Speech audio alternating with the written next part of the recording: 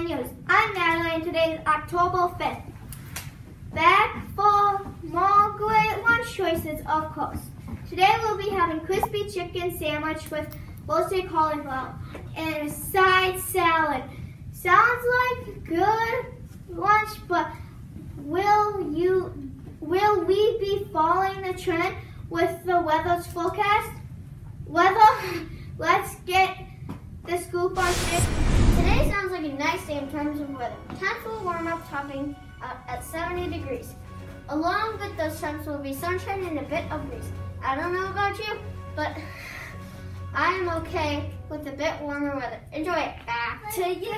Nice day is ahead of us. Mind us for today. Please wear your mask properly. Remember, mask should cover your nose and mouth to be effective. Be mindful for the ears in the hallway. We want to try and follow the directions whenever possible.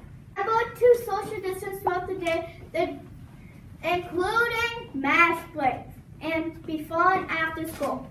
Picture day will be October 14th, so start planning your jump. Who knew this week was homecoming? Uh, to celebrate, make sure you participate and dress up day. Today is pajama day and tomorrow is sports day. Look for highlights next week. That does it all, all it for today.